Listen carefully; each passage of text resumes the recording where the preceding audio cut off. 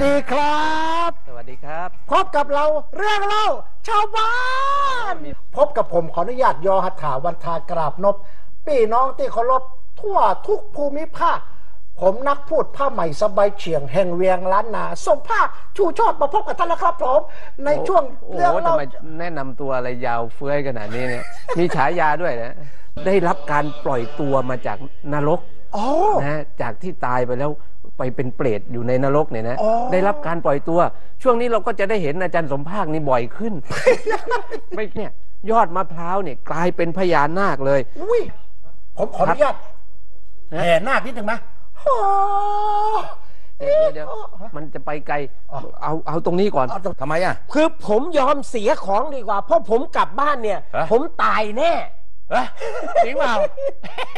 ลงข่าวอย่างนี้เนี่ยเมียที่บ้านรู้แล้วแล้วให้เราเตรียมถุงไปอ่าเพราะฉะนั้นถ้าจะให้ดีก็ใช้คือถุงผ้าเออใช้ถุงผ้าอ่าแต่บางคนเข้าใจผิดฮะ ดันใส่ผ้าถุงไป พบกับรายการเรื่องเล่าชาวบ้า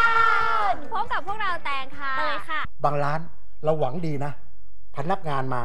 นะครับ ถือแกงมาร้อนๆเนี่ยนะแล้วโอ้โหแม่โป้งเนี่ย จุ่มลงไปในแกง ไอ้เราบอกว่าน้องน้อง เอ่อนิ้วนิ้วนิ้วลงในถ้วยแล้ว อ๋อบาเป็นอย่างครับ ผมทนได้ ซื้อเครื่องดื่มอะไรสักอย่างหนึ่งค่ะนะครับเขาบอกเปิดฝาปั๊บแล้วมันได้โชคเนี่ยอ่าแบบนี้ก็เรียกว่าพนัน อาพนันค่ะ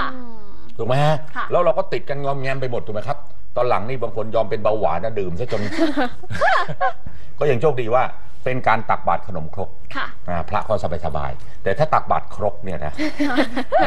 พระคงลำบากเหมือนกันอยู่ๆใส่ครกลงไปเนี่ยนะ